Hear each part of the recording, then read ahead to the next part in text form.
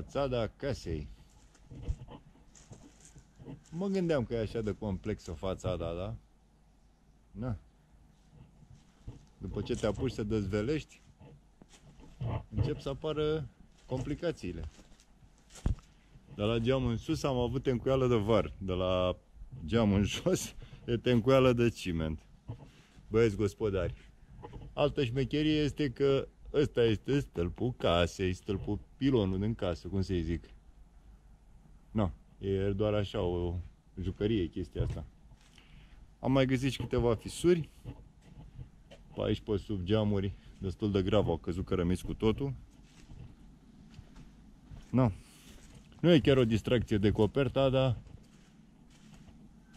dacă am reușit într-o zi să fac chestia asta, sunt foarte încântat de mine.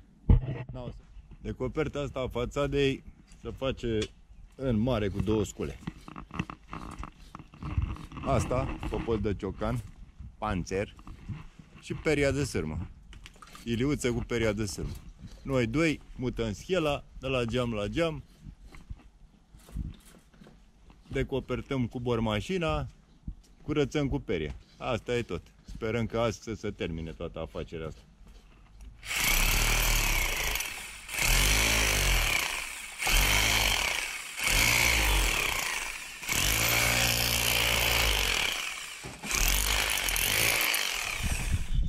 Da, de ora 17 și apropiem și noi de finalitate. Da, una peste alta ați mulțumit că s-a terminat. Sunt mulțumit că există câteva fisuri, dar nu sunt așa de decisive. După ce am decopertat uh, o mare parte din fațadă, mai exact secvența de deasupra geamurilor, am uh, trecut la tăierea spumei, chiar un pic în profunzime, aș zice. Mama, am uh, adâncit uh, rosturile astea verticale. Arată un pic cam rău, așa aș zice, adică ceva de genul ăsta. Uite, e foarte friabilă tencuiala și atunci când uh, cu caterul, da? Ha. Deci dacă cu caterul tencuiala asta să cade, e clar că nu e ceva în regulă. E, interstițiile curățate astfel vor primi o nouă tencuială și anume mă gândesc cumva să pun chiar un mortar de reparație. După decoperta primară și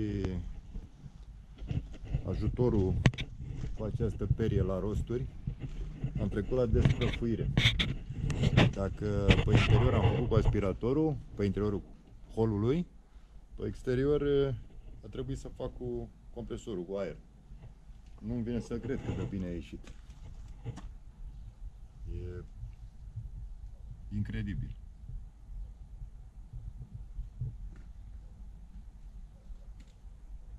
Incredibil cât de bine a ieșit.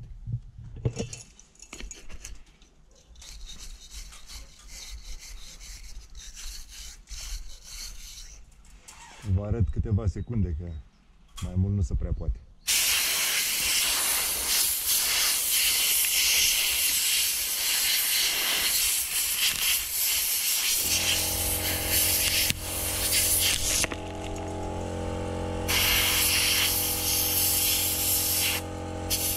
Până la urmă mi-a făcut curaj să dau și tencuiala asta pe bază de ciment.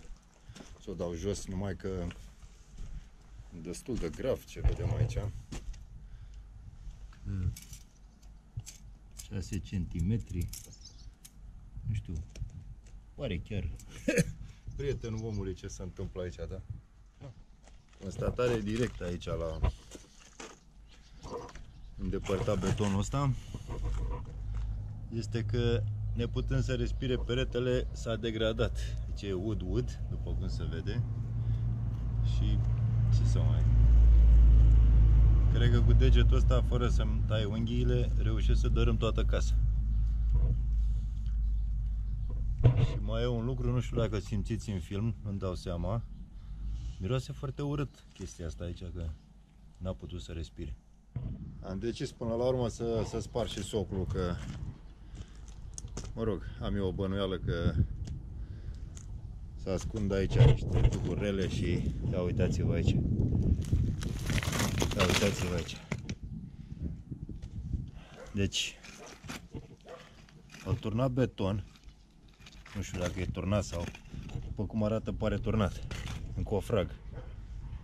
Iar cărămizile care se desprind Mă rog, asta de aici e fundația, teoretic ar trebui să fie cu piatră, da. Asta de aici e o piatră, asta aici încolo începe, încep cărămizile.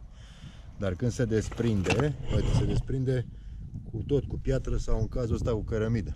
Am uh, una bună pentru amatorii de senzații tari. Aici, aici, bă, așa.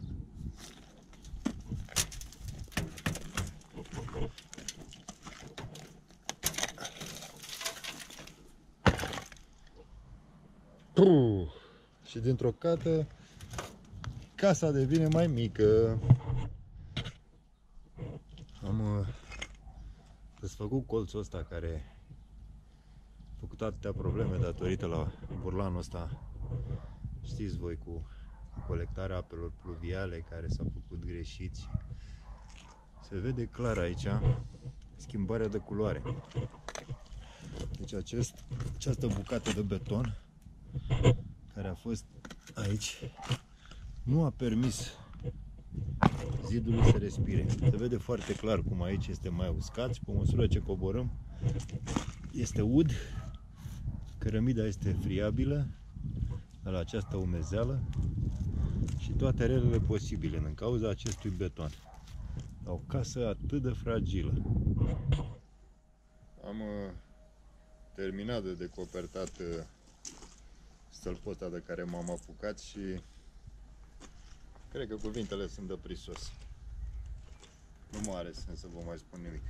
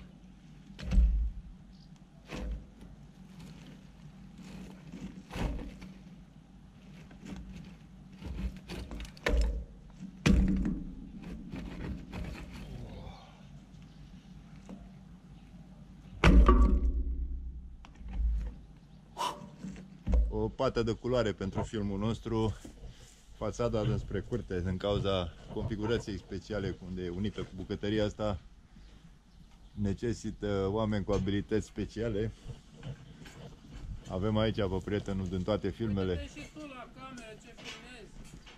Tu te uiți la cameră. Salut. susținătorii galeria, ca să zic așa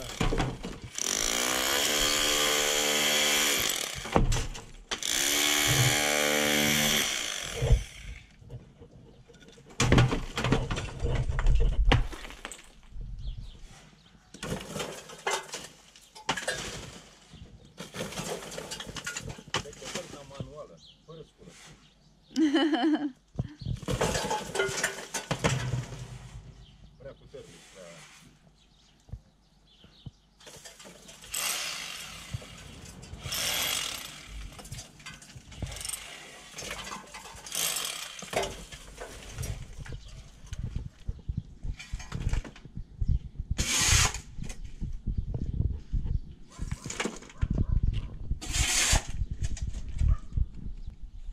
Așa, teatral. îmi place, îmi place. Opa! Nu, nici eu nu-mi dau seama. Bă, poate că... Au, stai, stai, stai.